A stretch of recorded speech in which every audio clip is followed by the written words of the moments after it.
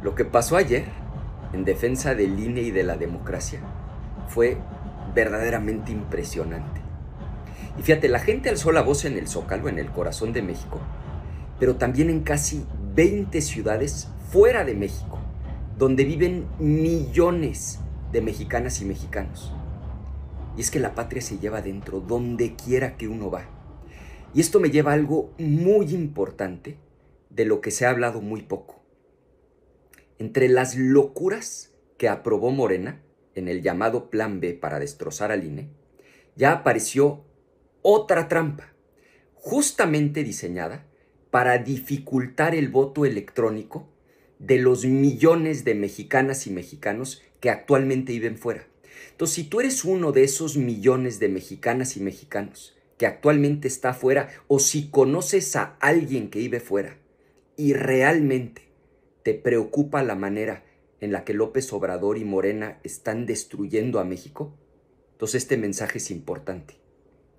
Porque en 2024, cuando tengamos elecciones presidenciales, por primera vez en la historia, quienes están en distintas partes del mundo van a poder votar de manera electrónica, es decir, desde su teléfono, desde una computadora. Pero como los de Morena saben que muchos de esos mexicanos no votarían por ellos, están reduciendo al mínimo los plazos para que te puedas registrar y puedas votar. Ahora, la buena noticia es que todavía estamos a tiempo, pero solo si nos empezamos a organizar desde ahora. Y pensando en esto, quiero hacer un llamado.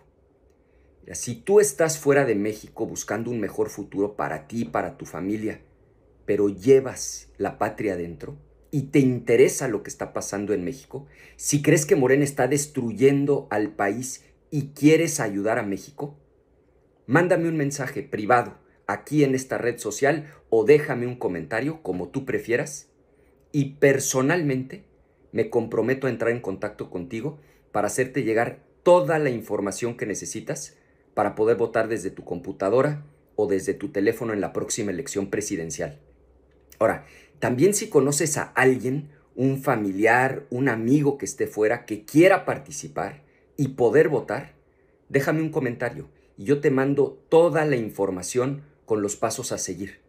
Digo, en realidad es bastante sencillo. Solo hay que seguir ciertos pasos. El problema es que los plazos para el registro van a ser muy cortos y por eso es importante organizarnos pronto. Recordemos que así como ayer, los ciudadanos libres le pidieron a la Suprema Corte que defienda la certeza de nuestro voto, a nosotros nos toca también defenderlo, votando, participando. Porque quejarse y no hacer nada no lleva a ninguna parte. Y si la democracia sobrevive en México, será porque los mexicanos de todas partes estuvimos dispuestos a defenderla. Sigamos luchando por México. Si te interesa participar o ayudar, no dejes de escribirme. Quizá me tome algunos días responder, pero te aseguro que lo voy a hacer y ojalá puedas compartir este mensaje con tus conocidos para que podamos convocar al mayor número de personas. Muchas felicidades nuevamente por lo de ayer y nos vemos pronto.